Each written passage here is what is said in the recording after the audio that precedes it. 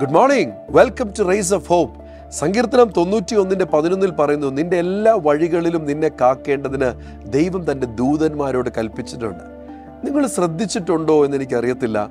പലപ്പോഴും unexpected individuals or visitors നമ്മുടെ ലൈഫിൽ നമുക്കൊരു വലിയ സഹായം ചെയ്തു തന്നായിട്ട് നിങ്ങൾ ശ്രദ്ധിച്ചിട്ടുണ്ടോ? ബൈബിളിലൊരു പ്രത്യേകതയാണ് ദൈവത്തിന്റെ ദൂതന്മാരുടെ പ്രസൻസിനെ സെൻസ് ചെയ്യുന്നത് ഒരു ഗിഫ്റ്റാണ് എന്റെ ലൈഫിൽ പല സാഹചര്യത്തിലും എനിക്ക് ദൂതന്മാരുടെ എക്സാമ്പിൾസ് ഞാൻ ഓർക്കുന്നുണ്ട്. വർഷങ്ങൾക്ക് മുൻപേ ഞങ്ങൾ കേരളത്തിൽ നിന്നും ആന്ധ്രാപ്രദേശ് വിജയവാഡയിലേക്ക് കാറി പോവുകയാണ്. എന്റെ ഡാഡിക്ക് അന്ന് തിരുവല്ലയിൽ നിന്നും ട്രാൻസ്ഫർ ആയി പോവുകയാണ്. എയ്റ്റി നയനിൽ അന്ന് ആന്ധ്ര ബോർഡറിൽ ഡെക്കോയിറ്റ്സ് ഉണ്ട്. അങ്ങനെ നമുക്ക് ഈ രാത്രി യാത്ര ചെയ്ത് പാടില്ല എന്ന് അറിയത്തില്ല. ഞങ്ങളുടെ ഒരു ഫിയറ്റ് കാറും ഒരു ടെമ്പോയും ഉണ്ട്.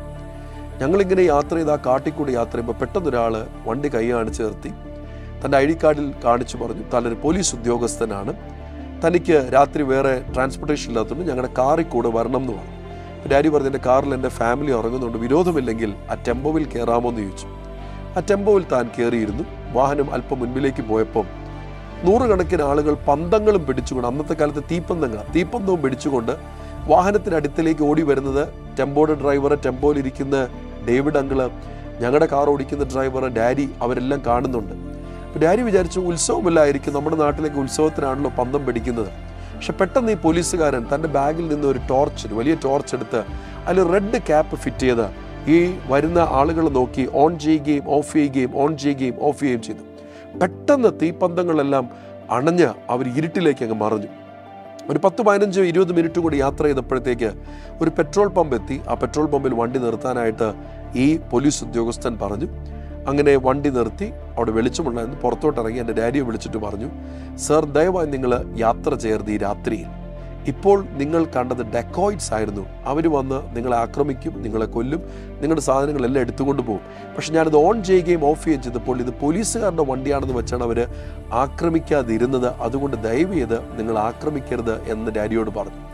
ഇത് കേട്ടപ്പോൾ ഡാഡി അങ്ങ് ഷോക്ക്ഡായിപ്പോയി ഡാഡി തന്റെ ഡ്രൈവറിനെയും ടെമ്പോയുടെ ഡ്രൈവറിനെയും ഡാഡിയുടെ കൂടെയുള്ള അങ്കിളിനെയും ഒക്കെ നോക്കി ഒരു ബൈ പറയാം താങ്ക് യു പറയാൻ തുടർന്ന് തിരിഞ്ഞു നോക്കിയപ്പോൾ ആ മനുഷ്യനെ കാണുവാനില്ല. പല അനുഭവങ്ങൾ എനിക്ക് ഇതുപോലെ ഉണ്ടായിട്ടുണ്ട് പറയാനായിട്ട്. ദൈവദാസന്മാർക്ക് ഒത്തിരി ഉണ്ട് ഇത് വളരെ സത്യമാണ്. ദൈവത്തിന്റെ ദൂതന്മാരെ നമ്മൾ തിരിച്ചറിയണം സെൻസ് ചെയ്യണം. നമുക്ക് ചുറ്റും ദൈവം ആക്കിയിട്ടുണ്ട്.